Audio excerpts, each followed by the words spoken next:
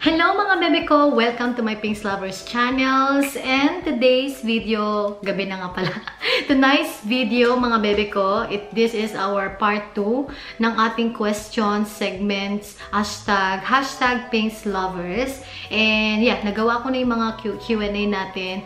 Okay mga bebe ko, nagawa ko na yung part 1 pero dinivide ko siya sa 2 uh, videos kasi mas may nauna and then pangalawa. So, this is our part 2 pero i-divide ko ito for 2 videos din kasi medyo marami-rami pa siya. And nag-live din ako kanina eh sa ating Insta um, Instagram. And the dates tonight, mga bebe ko, it's June 28. And katapos ko lang din nag um, gumawa ng YouTube Made Me Buy This or Have This. Kasi, yeah, YouTube is talaga naman manapakalaking influensya din sa atin mga bebe ko, ba? So, pag may gusto tayo ganyan, and which is good kasi alam natin kung ano yung karapat dapat na mga makeup para sa mukha natin ganyan. So, I, yeah, that's why I love, I love YouTube. Okay, um, yeah, uh, hanapin ko lang dito mga bebe ko. Start na lang tayo sa pinakababa. Hindi ko nga, and from Mina Maika 21, ano pong next travel goal nyo? Pa-shoutout na rin po. Hello bebe ko, thank you so much. Um, next travel goal ko sana, that's goal, mga bebe ko, it's gonna be, gusto ko Europe or USA, yung bisitahin ko yung ate ko sa England, sa Manchester City. Pero, yeah, matatagalan pa yan. Pero yun talagang travel goal ko, mga bebe ko, na next. Pero hindi siya mangyayari. Okay, from Mika.Venus. Mommy Juliet, paano po si Baby Casey po pag nag-stay for good na kayo sa Australia? Dadalhin niyo po ba siya? Love, love, Mommy. Shout out din po. Hello, Bebe Mika dot Venus. I love you too. Um, Casey, uh, we are working on his documents, mga bebe ko. It's gonna be long process, ganyan. But, yeah, dadalhin namin siya sa Australia. Pero kailangan in um, legal process kasi it's gonna be long process talaga. Pero we have to be strong kasi yeah, uh, may quarantine pa siya, ganyan. So yes mga bebe ko, dadalhin natin si, dadalhin namin si Casey. From Teen 35, how did you meet each other? I'm a subscriber all the way from Saskatchewan, Canada. Hello, um, mga bebe ko. Nag-meet kami ng asawa ko through with my sister when I visited my sister in Hong Kong for holiday. Kasi first time ko yung regalo nila ate ko. Pumunta ng Hong Kong, pumunta ng Disneyland, ganyan. And dun ko na-meet si Scott, mga bebe ko, because of my sister. Kasi magkakilala sila ng kaibigan ni Scott at si ate ko magkaibigan. Nagkakilala sila and then pinakilala kami. From Lodette read. Hanggang kailan po kayo dyan sa Australia at kailan po balik nyo sa Korea? Paano po si Casey? Sana hanggang sa next year pa po kayo sa Korea para makita kita, Moms Jules. Love you, Mom Jules. Pa-shout out po. Thank you so much, baby ko. I love you too. Sobrang salamat sa suporta. Si Casey, yeah, babalik pa kami. Hindi, um, Balik ko sa Korea, nandun na si Daddy Scott, magkasama na sila ni Casey. So, nauna na si Scott sa akin. Nandito ako for one month, stayed behind dito sa bahay sa Sydney kasi dito si nanay. And pagbabalik na kami ng Sydney for good. And yeah, kasama namin si Casey, may awa ang Diyos, bebe ko. Dadalhin namin siya. We'll do our best talaga. We'll do everything. So, yeah. Pero yeah, abangan natin ang mga vlogs and balitaan ko kayo mga bebe ko. From Sis Strong. Mommy Juliet, paano po ba mag-style ng clothes? Ang galing-galing niyo po kasi mag-style. Isa po sa fashion, isa po sa fashion inspo ko. Isa ka po sa fashion inspo ko. Oh, thank you so much, bebe ko. C S S is C S S Y S T R N G. Bebe ko, um, nung bata kasi ako, basta mahilig na ako magdamit-damit, kikay-kikay, ganyan. Sa pananamit kasi, sa pagdadala, na na wala yan sa tatak ng damit mo, wala yan kung saan mo binili, wala yan sa brand, ganyan. Nasa pagdadala yan. So, pwede ka mag-mix-mix and madali lang, madali lang. Mag-try-try ka lang kung ano yung feel mo na komportable sa'yo. As long na ka, magandang idala at kaya mong idala at nasa pagdadala talaga yan, ay pack na.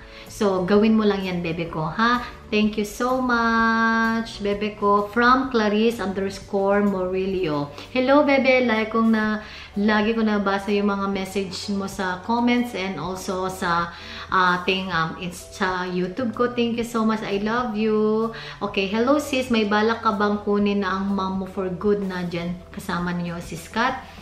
Nyoni Scott. Hello from Maryland, USA. Pinay vlogger din. Oh, wow! That's from USA. Wala akong balak na pangarap ko talaga na mag-for good na si nanay sa akin na wish ko talaga yun mga bebe ko na mag-stay na siya sa amin for good. Pero hindi kasi pwede kasi meron ding responsibilidad si nanay sa Pilipinas. So may mga pamangkin ako doon na kailangan din siya, ganyan. Yung mga anak ng ate ko na nasa ibang bansa, na kay nanay, nag-aasikaso siya. So hindi. Pero for visit-visit, yes, bibisitahin din ako ni nanay. Kasi meron siyang visa for only one year. And nagastos namin sa visa ni nanay, mga bebe ko. Nagbayad nagbayad lang kami ng ano eh, uh, almost 4,500 kasi for tourist visa lang naman yun. For multiple tourist visa. Pwede ka kasi mag-apply more than that. Pero pinili lang namin yung one year muna. So, ayun mga bebe ko. Yeah. Tapos yung insurance niya, mga 900. Ay, yung insurance ni nanay, 1,200 pesos. So, wala pa talagang 10,000 yung visa ni nanay. Sobrang mura lang. I mean, sobrang reasonable. Sobrang okay siya. At madaling mag-apply talaga basta kompleto ang documents na, ano, na tawag doon, um, provide mo. And from its underscore Jela, ah, ang cute. Okay. From Felicity Chai 19, what country po na di mo pa po napuntahan ang gusto mo mapuntahan? Shout out po. Hello bebe ko, um, what country na gusto, ang gusto ko mapuntahan is USA and Europe. Yan talaga gusto ko talaga mapuntahan. May awan Diyos bebe ko.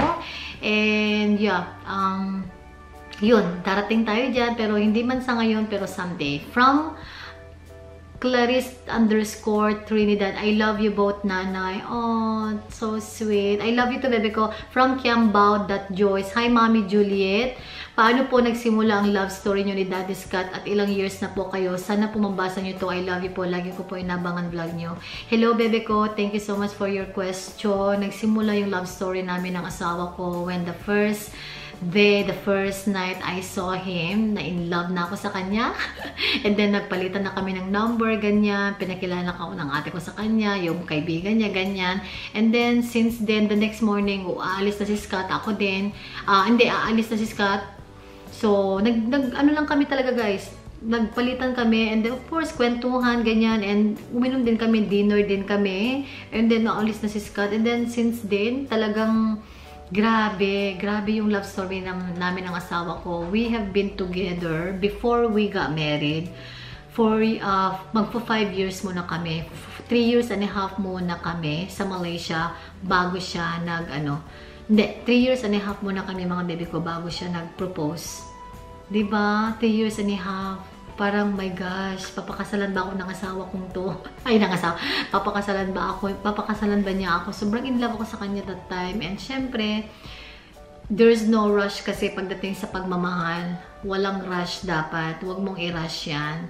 Kahit na sigurado ka na. Kasi kinilala talaga namin ni Scott yung isa't isa mga bebe ko. As in, kinilala niya ako. Kinilala ko din siya hanggang handa na siya. Nag-propose siya. And then, nag-propose siya. And then, one year bago muna kami kinasal. Ba, one year kaming engaged. And then, kinasal na kami. And then, now, we've been together the whole time, ah. We've been together for almost nine years na, mga bebe ko. And then, next year, we gonna be together for marriage. For ma We've been married together for four years na next year. May awa ang Diyos. So, ayun. Mahaba-haba din yung aming love story ng asawa ko. Super, guys, super swerte ko lang talaga kay Scott. Sobrang proud ako sa kanya. Sobrang mataas siyang tao pero tingin niya sa lahat is pantay. I mean, where he is now, I'm so proud of him, mga bebe ko. Sobra sa lahat ng achievement niya sa buhay niya. Sobrang proud ako bilang asawa niya na, my gosh. So, ayun, sobra talagang swerte ko lang talaga. Okay, from Abe Abby dot CXC. Hi, Mommy Juliet. How you how do you maintain your beautiful and glowing skin? Ah, love you. I love you too, bebe ko. Nako, naiya naman ako sa comment mo. Ah, paano ko ba? Um, siguro always happy lang. Kaya, kasi pag happy ka, nag-glow yung skin mo kaya. Napansin ko din, pag happy ka and yung hormonal balance mo, nababago din yan. Yung stress yung, basta guys, pag happy ka, always smile, always masaya ka lang, baliw. Basta guys, masaya ka lang, smile ka lang, gumaganda ka lalo daw eh, pag masaya ka, at nakakabata yan. At nakaka-glow ng skin yan. Kasi yung hormones natin eh, na, na, na-affect, na-apektuhan din yan. Halimbawa, pag malungkot ka, stress ka, naapektuhan yung hormones mo. Siyempre, yung hormones mo, digest yung, yung, yung system ng body mo, nababago din yan dahil sa iyong emotion. ba diba? So, pag happy ka, you feeling beautiful. Pag happy ka, nakakaganda yan, nakakaganda rin yan ng skin kasi masaya. Guys, honestly talaga, let me know kung, kung tama. Ayun, nagpapakulo na si nanay ng tubig. Okay? So, just yun mga baby ko. Just be happy lang tayo. Drink a lot of water. And, asaka, okay guys ha, pag-usapan na natin ng skincare. Continue yung skincare mo. You gotta be, pag nag-try ka ng skincare products, kailangan continuation yan. Huwag mong stop yan. Para ma-maintain din yung kagandahan ng skin mo. And at the same time, dapat masaya ka din. As in guys, malaki kasi impact ng ano eh, happiness sa buhay natin. Pag masaya ka, you, you are beautiful eh. You, pag masaya ka, it say it all. You're beautiful kasi you are happy. ba diba? Parang simple words lang yan pero napaka meaningful. So, ayun bebe ko. So, just continuation. Pero kung baby ka pa at bata ka pa, huwag ka munang gumamit-gamit ng kung ano-ano mga skincare ha. Enjoy mo muna yung mukha mo, yung, yung mukha mo. Enjoy mo muna yung pagka, yung ano, youthful, yung youth ng ano mo, skin mo. Huwag ka munang gumamit ng kung ano-ano ha. Basta enjoy mo lang yan kasi I'm sure na pag gumamit ka na kasi ng mga skincare, bata ka pa, kailangan kasi continuation na yan eh. Pag in-stop mo, doon na talaga I mean, masisira or maano yung ano, yung balance ng ano natin. Yung ano ng ano skin mo, ganyan, okay?